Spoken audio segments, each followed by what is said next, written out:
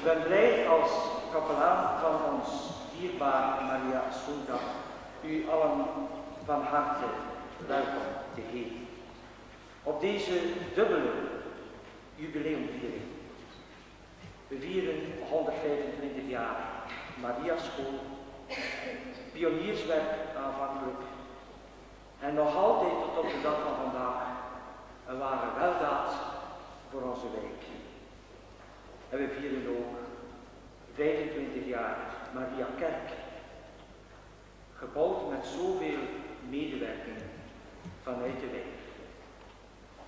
En bij de plechtige inleiding op 30 november 1958 schreef onze bisschop in het gedenkboek dat ook in de tentoonstelling ligt. Met verenigde krachten hebt gij voor God uw schone kerk gebouwd. Mocht ge nu met verenigde krachten zijn genade ontvangen en uw christendom beleven. Met verenigde krachten.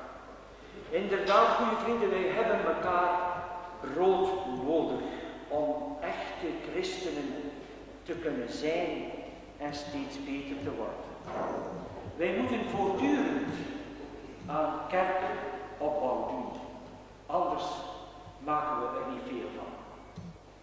En wij hebben elkaar ook nodig, wij God en God ons, meer dan we denken. Wij hebben elkaar nodig, brood nodig. Laat dit naast al onze dankbaarheid de grondgedachte worden van deze dubbele jubelviering.